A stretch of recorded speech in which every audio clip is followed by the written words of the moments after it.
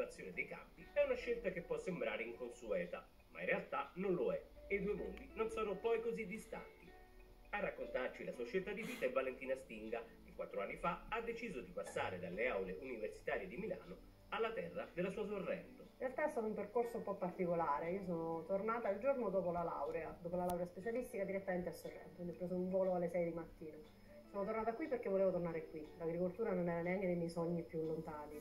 eh, anzi volevo lavorare nel turismo, ho lavorato nel turismo per un po', però non mi sentivo mai completamente soddisfatta e anche se ero giovane, perché comunque sono tornata qui che avevo 23 anni, quindi non ero diciamo, fatta e finita, anzi, però mi sembrava sempre che mancasse un pezzetto da qualche parte il pezzetto mancante poi ho scoperto essere la terra perché qualche anno fa, ormai quattro anni fa, ho iniziato per gioco a coltivare qualche, qualche verdura in primavera e mi sono resa conto di quanto effettivamente questa attività mi piacesse e mi piacesse soprattutto anche raccontare quello che facevo agli altri e da lì è nata l'attuale azienda agricola.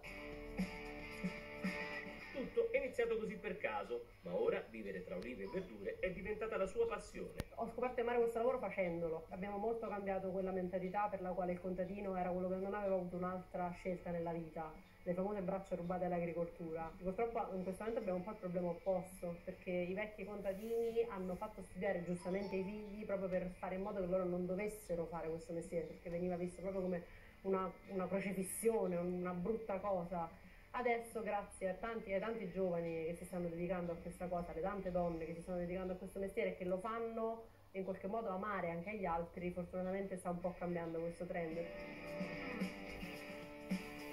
Le sue giornate sono fatte di lavoro nei campi, semina, raccolta, ma passa tante ore anche davanti ad UPC ed è lì che si coniuga il legame tra terra e studi universitari. Venivo da una formazione che mi ha, mi ha, aiutato su quella che era la parte economica dell'azienda, su quella che era la parte anche di comunicazione, avendo una laurea specialistica in marketing però ovviamente mi mancava tutto il resto, mi mancava sia la parte burocratica, mi mancava appunto la, la base di agraria, quindi tutto quello che è relativo a come si coltivano le cose ed è una cosa che in parte ho acquisito io col tempo, in parte ovviamente mi affido a dei professionisti. La Terra le ha cambiato la vita in ogni aspetto. La Terra mi ha cambiato la vita e poi me l'ha cambiata anche il mio attuale compagno che ho conosciuto perché ha visto online dei miei prodotti, ha voluto provarli e non abitando troppo lontano invece di mandargli il corriere sono andata io di persona perché ero di strada e poi ci siamo ritrovati adesso ad essere compagni di vita e quindi sì, sia la Terra che lui mi hanno cambiato la vita.